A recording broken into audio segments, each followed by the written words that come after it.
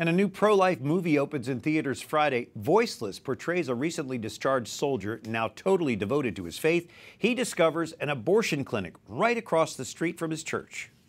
I'm referring to the clinic that's across the street. It's a family planning clinic, right? And they also have about 5 to 20 abortions a day. And what are we doing? I'll tell you what we're doing nothing. Is someone addressing the situation? I just told you I'm working on it. Jason Jones is co executive producer of the new pro life movie Voiceless. Give us a snapshot, a quick snapshot of the storyline. Well, this is a powerful, entertaining, and gritty film about a, um, a, veteran who comes home and he's an associate pastor, wants to start a boxing club and a youth group when he notices an abortion clinic across the street and decides to extend his ministry to praying, but that creates controversy in the church. So his goal is to just pray, and his church has to come to grips with that. In a first, this movie premiered on Friday outside the U.S. Supreme Court.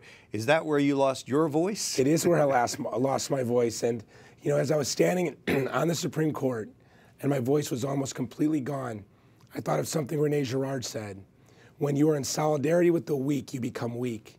And I thought, here I am in solidarity with the voiceless, and I've had the privilege to lose my voice promoting this film. but it is a powerful film produced by an evangelical Christian inspired by the Catholic Witness for Life.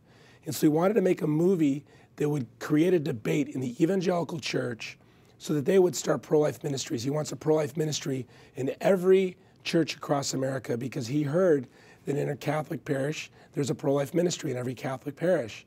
And so he was inspired by that. And, you know, with our movie Bella, over a thousand women wrote us letters who were scheduled to have an abortion saw the film and kept their baby. Imagine if a thousand churches who are not engaged in the struggle to protect the child in the womb from the violence of abortion start pro life ministries. So, Bella, little boy, now voiceless, you have really dedicated your life to this issue. Why did you become this pro life activist that you are? Well, I was raised with no religion. And at 17, my high school girlfriend became pregnant. I dropped out of high school to become a father, you know, to, be, man up, to be a father. But while I was away in basic training, her father forced her to have an abortion. I didn't even know abortion was legal until I found out my child was aborted. It was something I didn't really know about. It was unthinkable to me. And so as a 17-year-old private in the Army, I just committed myself. I want to use my life to tell the truth about the beauty and dignity of the child in the womb. Searching for the source of that beauty led me to the Catholic Church, and that's how I became Catholic. But what led me into the film industry was I think film is the best way to tell the truth. It's the best way. Um, Roger Ebert said that a motion picture is an empathy machine. And so that's our goal. I cannot wait to see Voiceless. I'm sure it's in a lot of theaters this week. It opens at 120 theaters. Bella opened up on 80, and then it went to theaters around the country. So if we have a big opening weekend, we'll be everywhere. So go opening weekend if you can. All right, Jason Jones, we appreciate you being with us. Thank you very much. God bless you.